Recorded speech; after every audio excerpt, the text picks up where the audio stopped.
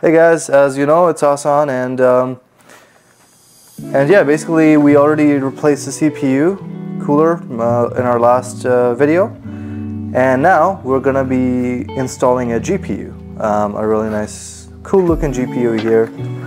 let's uh, take it all apart. I mean, we don't need this, right? Done, gone. Take this apart a little bit here. Nice looking GPU. We did an unboxing video on this guy, so you can see what it looks like there. Pretty cool, cool looking guy. So as you can see, this little PCIe slot corresponds with this guy here. S small and then large.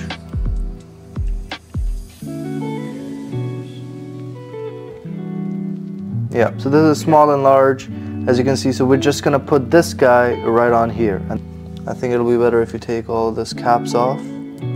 I'll take the caps off.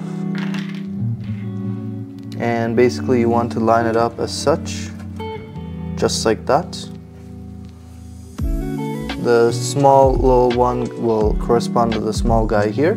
So make sure you line it up as that.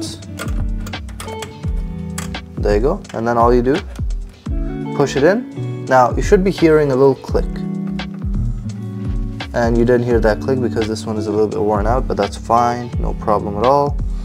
And there you go. It's in. Um, you do add in some additional screws here. So you have to add in this screw. I'm gonna just take it from here for now. And add it right here.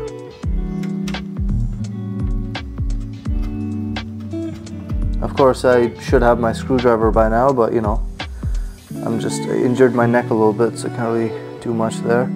So you're gonna have to put a screw down here as well, but yeah, that's your GPU. Ginormous, cooler, tiny GPU. There you go.